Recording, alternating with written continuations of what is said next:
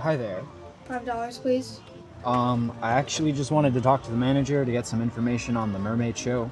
He's inside the exhibit. That's his office. Can I go talk to him now? I don't know. You can try. Okay. Thank you. Wait. It's five dollars. But I'm not going to the show. I just I told you I just want to talk to the manager. The manager is in his office. His office is in the exhibit.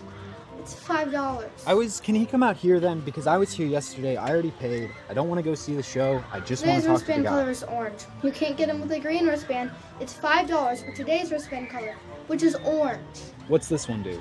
Today's wristband color is orange. You can't get in with a white wristband.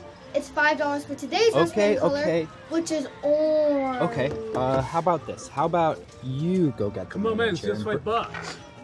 I'm not going into the show. I just want to talk to the manager. She's not letting Doesn't matter, man. It's just five bucks. Just mind your own business for a second, man. Hey, this is my business, man. Okay.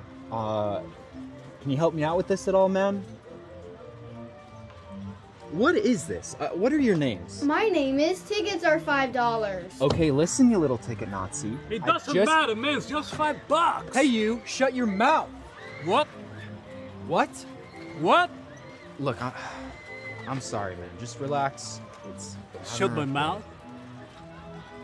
Shut my mouth. I'm sorry, man. I didn't mean that. I fucking touched you, man. What? Dude, fucking hell. Next. But he was the aggressor.